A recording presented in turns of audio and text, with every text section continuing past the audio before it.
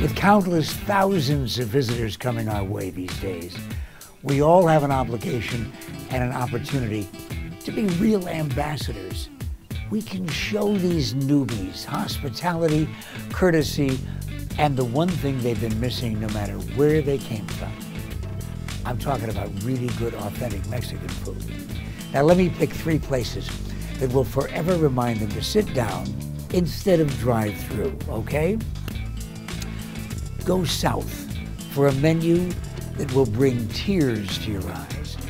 The extraordinary flavors, yes, certainly.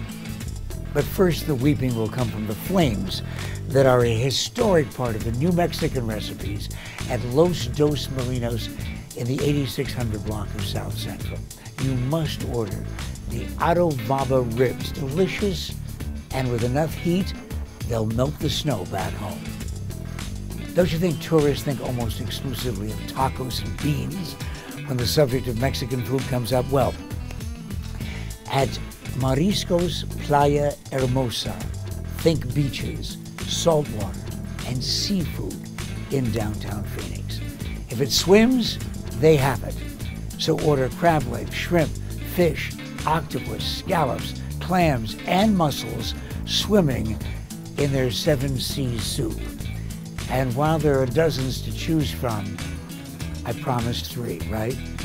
No list would be complete without the gourmet Mexican dining experience that I've mentioned often here. It's been delighting foodies like me for a dozen years. Barrio Cafe on 16th Street. If you can get in, you may choose from more than 250 tequilas and entrees like cochinita pibil, marinated pork wrapped in a banana peel and slow roasted overnight. So, you can go all the way across the border if you want to, but for Mexican food, it doesn't get any better than here in Phoenix, Arizona. Es verdad. I'm Pat McMahon.